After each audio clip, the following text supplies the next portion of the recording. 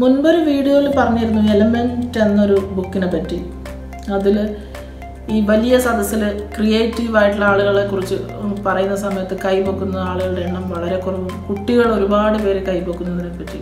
മുന്നോട്ടുള്ള പഴയ വീഡിയോയിൽ കാണാൻ പറ്റുന്നതാണ്. ഇതുപോലെ തന്നെ ബ്യൂട്ടിഫുള്ളായ വേറൊരു ഇൻസിഡന്റ് ആ പുസ്തകത്തിൽ പറയുന്നത്.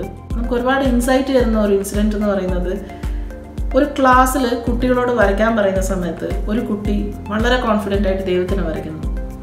അപ്പോൾ ഈ കുട്ടിയുടെ അടുത്ത് ചോദിക്കും ടീച്ചർ ചോദിക്കും പിന്നെ നീ ദൈവത്തിന് ഇതിനു മുമ്പ് കണ്ടിട്ടില്ലല്ലോ. അപ്പോൾ കുട്ടി പറയും അതിപ്പോൾ എല്ലാവരും രണ്ട് മിനിറ്റിനകം ഞാൻ വരച്ചു കഴിയുമ്പോഴത്തേക്ക് കാണുന്നു.